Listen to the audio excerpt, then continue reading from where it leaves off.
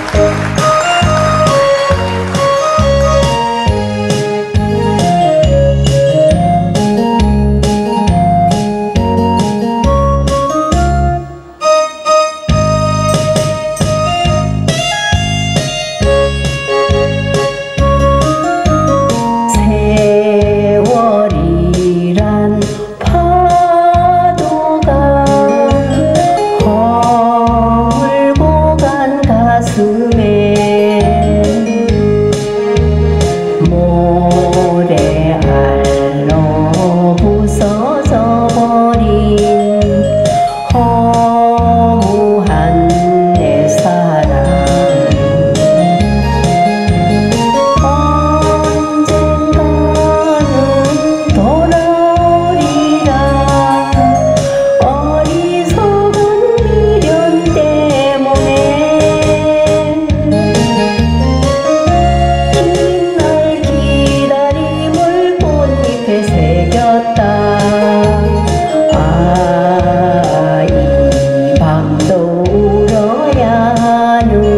you.